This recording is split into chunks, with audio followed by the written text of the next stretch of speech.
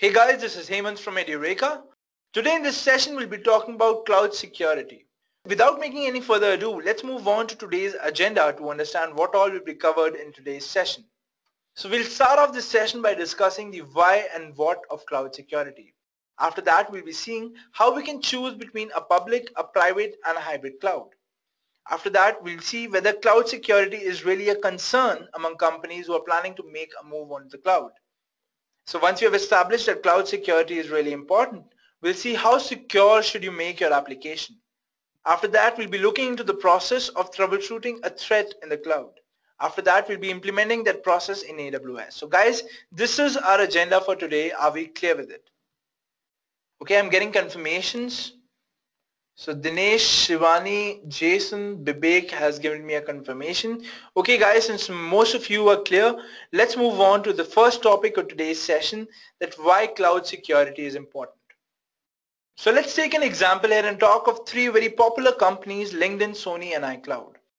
So LinkedIn in 2012 experienced a cyber attack wherein 6.5 million usernames and passwords were made public by the hackers. After that, Sony experienced the most aggressive cyber attack in history wherein their highly confidential files like their financials, their upcoming movie projects were made public by the hackers, right? And this made a huge impact on the business front of Sony. iCloud, which is a service from Apple, also experienced a cyber attack wherein personal or private photos of users were made public by the hackers right? So guys, now in all these three companies, you can see there's a breach in security which needs to be addressed, right? So cloud security has to be addressed. It needs to be there in the cloud computing world. So since now we've established that cloud security is really important, let's move on to understand what cloud security actually is. So what is cloud security? So it is a use of latest technologies and techniques in programming to secure your application which is hosted on the cloud or the data which is hosted on the cloud and the infrastructure which is associated with the cloud computing right? And the other part of this is that whatever security techniques or whatever techniques or technology that you're using to secure your application should be updated as frequently as possible because every day new threats are coming up right every day there are new workarounds to problems, right? And you should be able to tackle these problems or, or these workarounds. And hence you should upgrade your security as frequently as possible, right? Moving ahead, let's understand how we can choose between a public, a private, and a hybrid cloud. So we've understood that what cloud security actually is.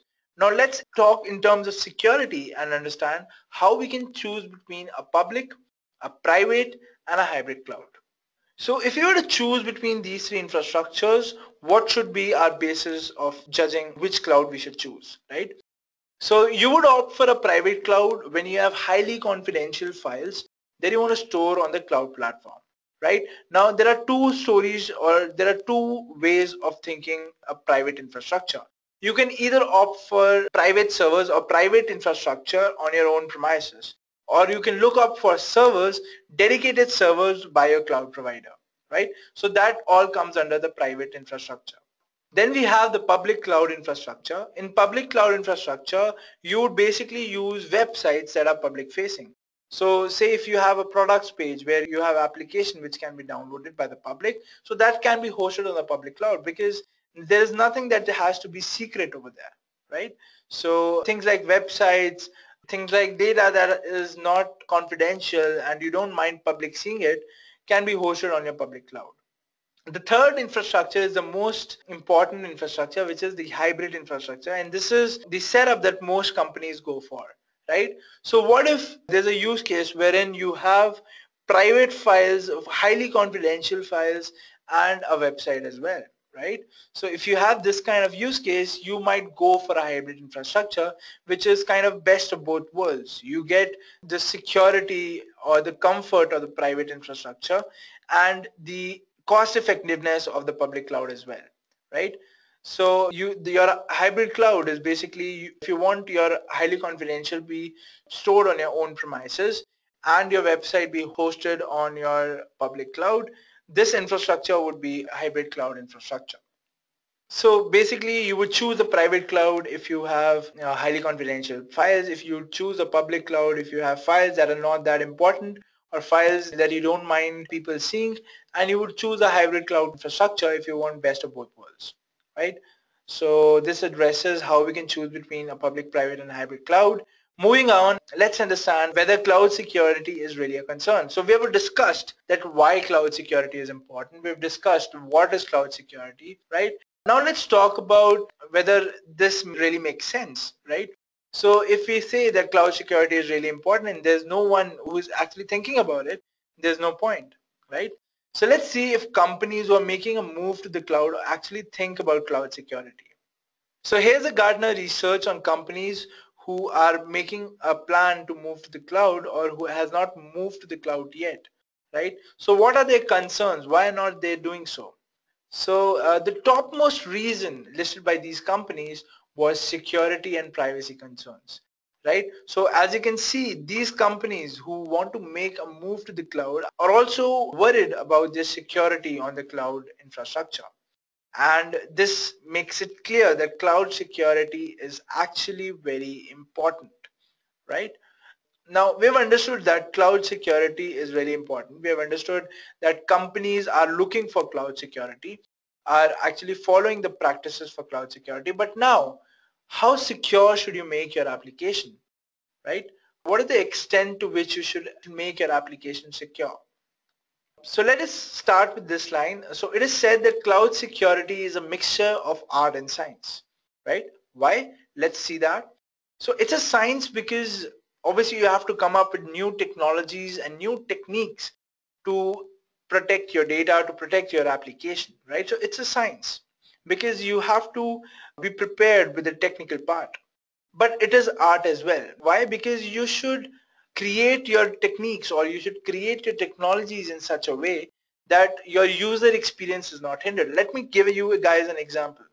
Suppose you make an application, right? And for making it secure, you think, okay, after every three or four minutes, I'll ask the user for a password, right? From the security point of view, it seems okay, but from the user's point of view, it is actually hindering his user experience, right? So you should have that artist in you that you should understand when to stop or till where should you extend your security techniques.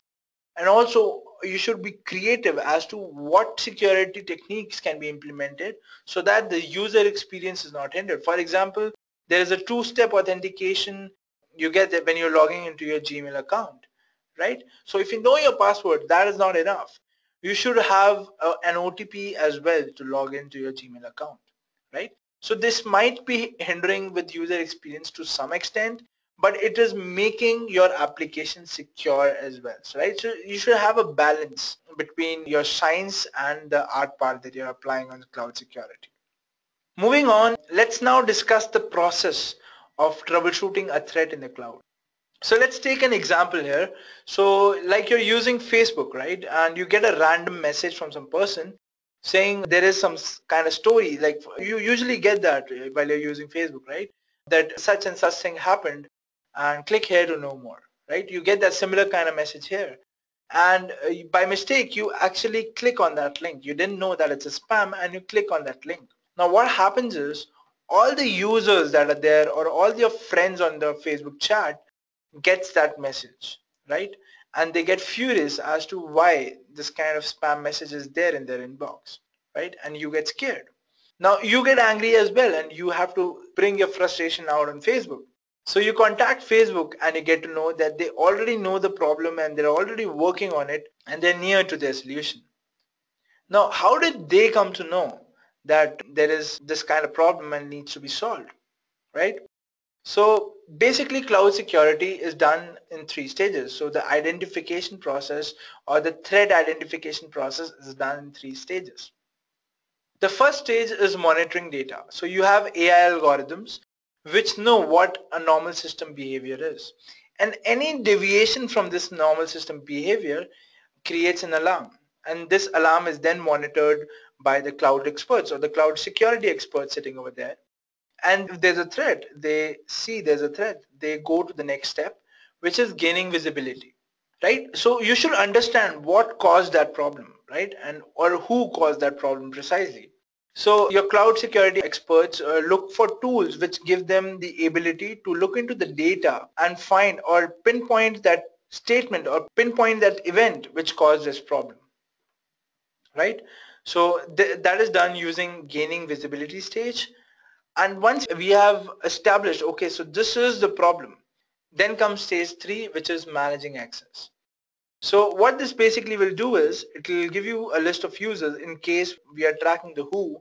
It will give you a list of users who have access and we will pinpoint the user who did that, right? And that user can be wiped out of the system using the managing access stage, right? So these are the stages which are involved in cloud security.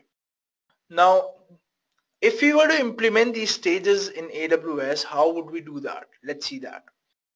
So the first stage was monitoring data, right? So if you have an application in AWS and you are experiencing this same kind of thing, what will you do for monitoring data? So you have a service in AWS called AWS CloudWatch. Now what is AWS CloudWatch? So basically it's a cloud monitoring tool. So you can monitor your EC2 and your other AWS resources on CloudWatch. How you can monitor them? You can monitor the network in, network out of your resource and you can also monitor the traffic which is coming on to your instance, right?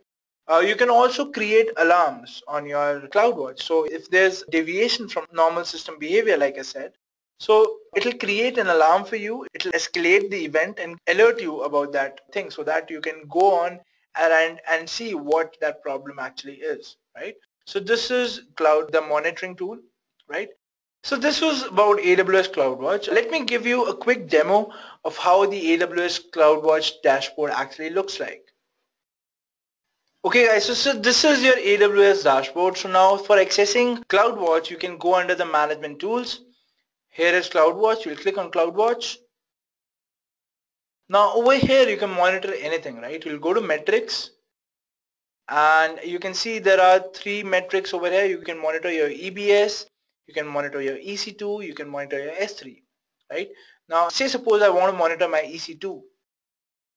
So as you can see, so I have two instances running in my EC2. One is called for batch instance and the other is called WPS instance, right? Now these are all the metrics which are there. So I can check metrics for my WPS instance for network in. I can check the disk read ops. So let me select the network out metric and there'll be a graph over here. So I can see this graph and as you can see between 6 o'clock and 6.30 I experienced a surge in my traffic, right? So basically this is how you monitor your instance in CloudWatch. And you have all these default metrics to check how your instance is doing in your AWS right? So this is what CloudWatch is. You can also set alarms here right? So if you go to alarms click on create alarm. Uh, you'll go to EC2 and you can select your metric from over here. Now I've selected disk read bytes over here now once I do that it'll ask me if there's a time range to which I want to monitor that instance right okay let's not set any time range let's click on next so when you click next, you will be prompted with this page. So you can set your alarm name. You can set your alarm description here and then you can specify that for what read write uh, number you should get this alarm for, right? So you'll be setting that over here. After that, you'll go to actions. So once an alarm is triggered, where should that alarm go? Who should that alarm go to, right? So you can uh, set it over here. Now, whenever the state is alarm, right, what should we do? So when the state is alarm, you can send your notification to your SNS topic. Uh, now what is SNS? Uh, SNS, so basically it's a notification service. We'll be discussing what SNS is in the next session. Uh, don't worry if you don't understand. So basically for now what you can understand is that SNS is a protocol wherein you set if you get a notification what to do with that notification or whom to send to that notification right so if uh, there's a topic called notify me in SNS so in Notify Me, I have configured an email address that is my email address that whenever a notification comes to the SNS service or the Notify Me topic to be precise, it sends an email to me, right, with that message. So I'll get a message with this alarm that so, such and such thing that has happened in CloudWatch. now you do whatever is required. The other thing that you can do over here is in the same SNS topic, you can also configure a Lambda function to be executed, right? Now what that Lambda function will do, so say suppose I configure the metric to be of CPU usage, right? And I say whenever the 40% metric is crossed, create an alarm or uh, like go to an alarm state and it notifies the SNS notify me topic about this. In the notify me topic, I can configure a Lambda function to clear all the background processes in that EC2 instance, right? So if I do that, the CPU usage will automatically come down, right? So this becomes a use case that you want to launch a Lambda function whenever your CPU usage goes beyond 40%, right? And hence, this is the way you would do it. So this was about CloudWatch. There's nothing much to it. You create alarms and you monitor metrics, right? Moving ahead, uh, let's move on to the second process, which is gaining visibility. So for gaining visibility, basically you have to track your whatever activity is happening in your AWS account. So there's a service in AWS called CloudTrail, right? So the CloudTrail service is basically a logging service wherein uh, each and every log to each and every API call is made. Now how is it useful? let's talk about the security perspective, right? So uh, your hacker got access to your system. So you should know how he got access to your system. So if you have a time frame, uh, say he got access to your system or you started to face the problem, say around 4 o'clock, right? So you can set the time between 2 o'clock and whatever the time is right now and monitor what all has been going around. And hence you can identify the place where that hacker got access to your system right? Now this is the part where you'll get to know who that person actually is or you can isolate the problem or which caused that. So if you take a cue from our Facebook example, over here you can actually pinpoint who is responsible for those spam messages because you'll all have those logs, right? You'll see the origin of those messages. Now once you've done that, the next step is managing this guy out of the system or wiping this guy out of the system. But before that, let me show you guys how CloudTrail actually looks like. So let's go back to our AWS dashboard and go to our CloudTrail service. So uh, again, under the management tools, you have the CloudTrail service. You'll click on the CloudTrail service and you will reach this dashboard. All right, so here you have the logs. So as you can see, you can set the time range here, but I'm not doing that. I'm just showing you the logs. So even for logging into my console, um, it is showing me that I've logged into my console at this time on this date, right? So every event is logged, guys. Every event that is happening on your AWS console is being logged. So let's talk about the S3 bucket. So somebody deleted a bucket and that has again been logged, right?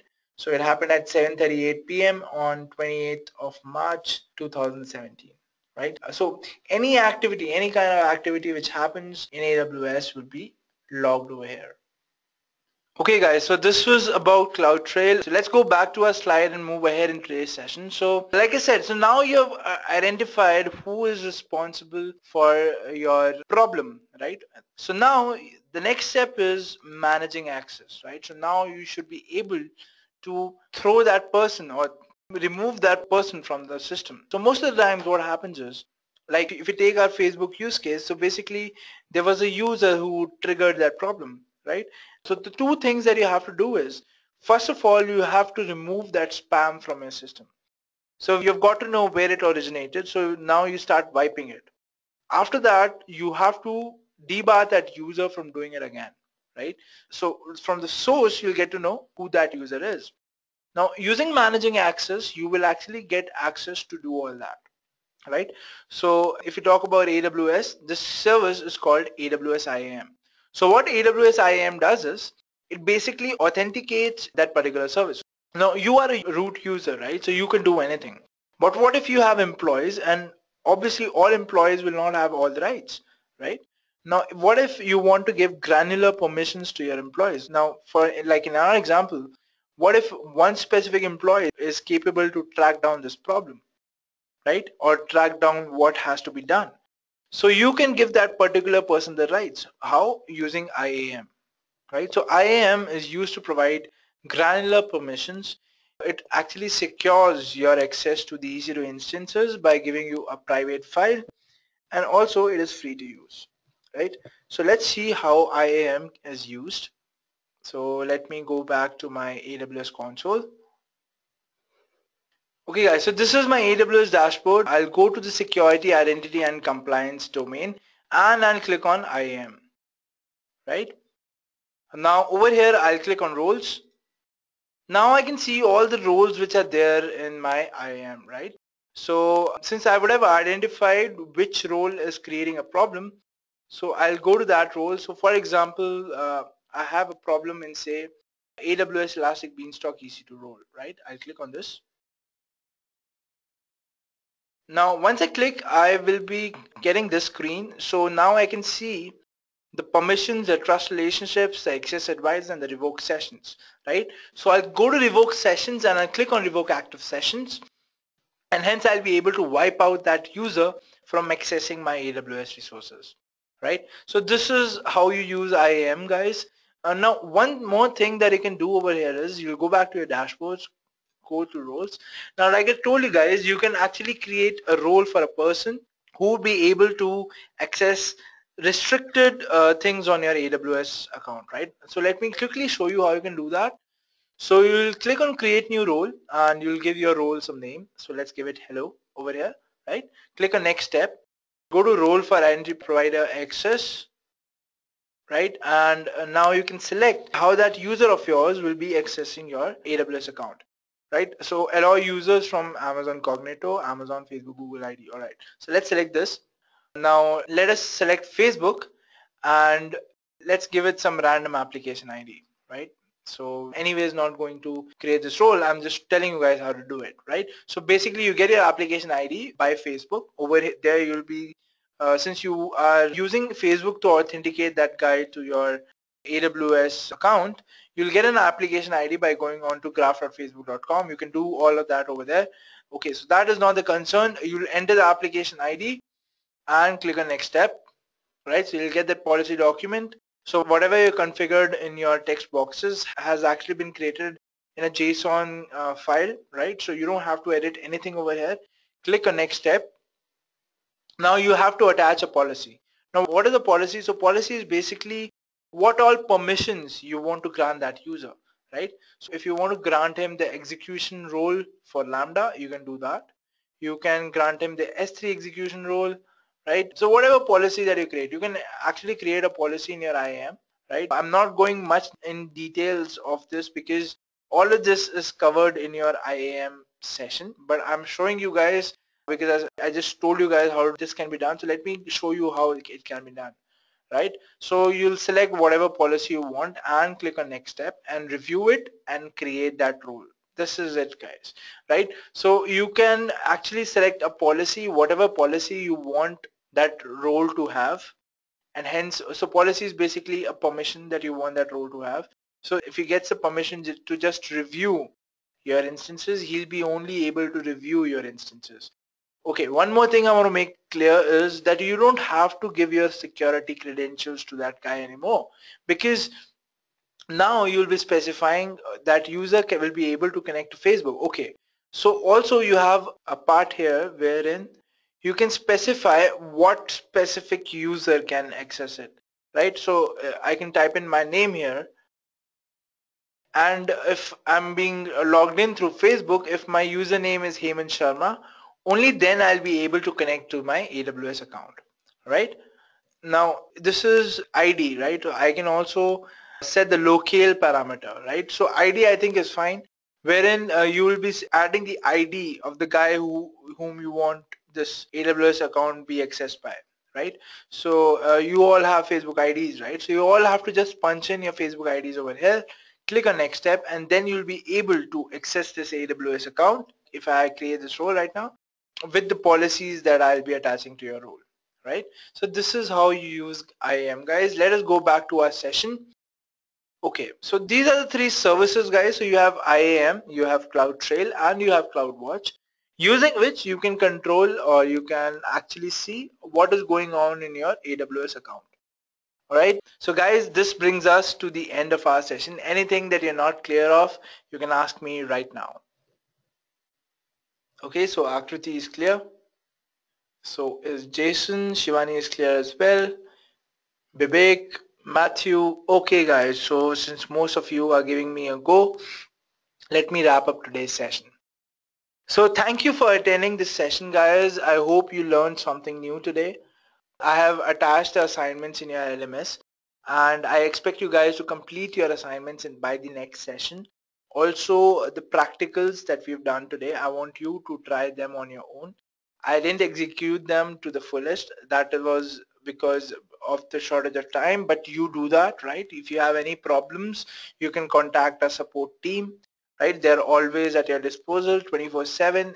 All right, guys. So see you in the next session. Thank you for attending today's session. Goodbye.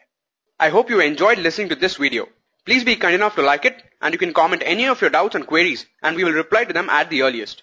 Do look out for more videos in our playlist and subscribe to our Edureka channel to learn more. Happy learning!